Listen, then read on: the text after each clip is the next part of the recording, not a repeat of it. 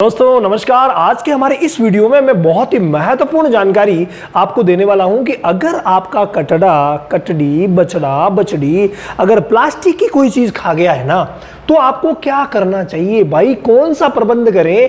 क्या इलाज करें? कंप्लीट बातें आज हम करने वाले हैं और इन बातों को हमसे पूछा है रामावत वैट ज्ञान लिख करके जो भी कमेंट करते हैं, मैं उनका जवाब वीडियो के माध्यम से ज़रूर देता हूँ।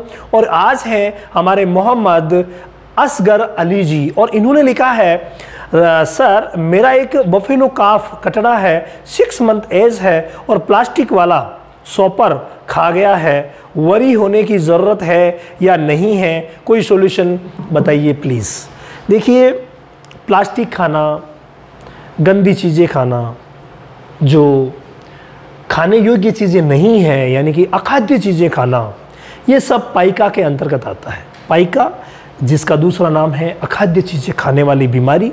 तो ये पाइका ना हो, इसके लिए तो मैंने आपको कई बार प्रबंध बताए भी हैं, हर प्रकार की दवाएँ आपको बताई है।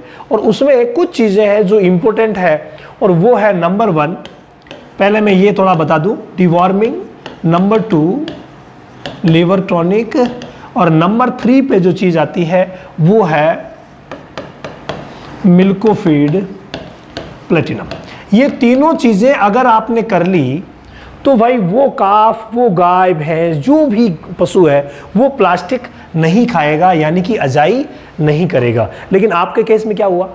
खा गया है साहब, अब क्या करें? तो देखिए, अब उसका क्या क्या होगा, ये मैं आपको बता देता हूँ। नंबर वन वहाँ जो नुकसान होगा, वो ये हो सकता है कि उसको धीरे धीरे करके दो चार दिन, पाँच सात दिन, महीना, दो महीना, साल भर बाद उसको आफरा आने लगे। तो अगर उसको बार बार आफरा आ रहा है ना तो समझ लीजिएगा कि जो प्लास्टिक खाई थी उसने तकलीफ़ कर दी। लेकिन ये तकलीफ़ तुरंत नहीं होती। अगर वो पेट में चली गई है तो पेट में जो पेट का हिस्सा है, वो बहुत बड़ा होता है। और अब छः महीने का हो गया है तो रूमन विकसित हो गया है। तो रूमन में वो एक तरफ़ पड़ी रहेगी। अब उसके दो अस्त्र हो सकते हैं। पहला ये होगा कि वो पड़ी है और कभी ना कभी जुगाली में उठ गई। भाई, जुगाली क्या होती है? पहले कोई भी कटरा है तो वो घास को, चारे को खाता है। खाने के बाद वापस उसको जुगाली के लिए बाहर लाता है। तो जब जुगाली के लिए वो बाहर लाएगा ना तो उसके दांतों में वो फंसेगी। मतलब जुगाली प्रॉपर नहीं होगी तो क्या होगा? वो उधर से बाहर निकाल देगा। भाई, ये तो सबसे श्रेष्ठ काम होता है।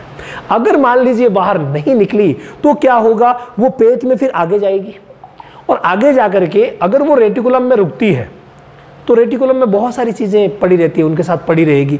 जब तक पड़ी रहेगी, कोई नुकसान नहीं करेगी। लेकिन अगर वो पेट में आगे चली गई तो भाई वो एबोमेज़म और जो आपके उमेज़म होता है, उनके बीच की जो जगह है, उनमें कई बार फंस जाती है।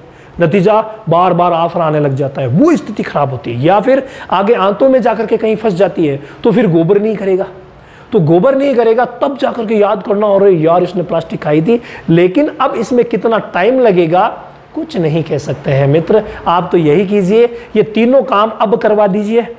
और साथ में एक विशेष काम जो हम करते हैं, और वो उसके लिए, जो अंदर प्लास्टिक खाई है, उसके लिए मेथी, यहाँ एक मिश्रण बना लीजिए। मेथी, ये ग्रोथ में भी अच्छा रहेगा। मेथी लीजिए आप, जैसे आपने 500 ग्राम मेथी ली, ठीक है?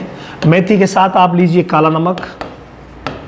काला नमक और आपने 250 ग्राम काला नमक लिया। इसके बाद आप लीजिए अजवाइन। अज वाइन डिवार्मिंग करवा दीजिए। लिवर टॉनिक दे दीजिए। मिल्कोफिट प्लेटिनम दे दीजिए। और मेथी, काला नमक और अजवाइन। अजवाइन जो है, ये भी आपको 250 ग्राम लेनी है।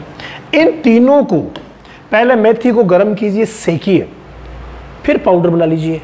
अजवाइन को हल्का सेकिए, फिर पाउडर बना लीजिए। काले नमक को कूट पीस करके पाउडर बना लीजिए। तीनों का मिक्सअप करके एक डिब्बे में रख दीजिए और एक एक चम्मच सुबह शाम या एक टाइम उसे लगातार आप देते रहें तो धीरे धीरे करके उसका डाइजेशन इतना मज़बूत हो जाएगा कि भाई जो प्लास्टिक खाई थी ना, हो सकता है कि वो नुकसान ना करे। तो ये काम आप करके और अपने कटरे को बिल्कुल ठीक कर सकते हैं।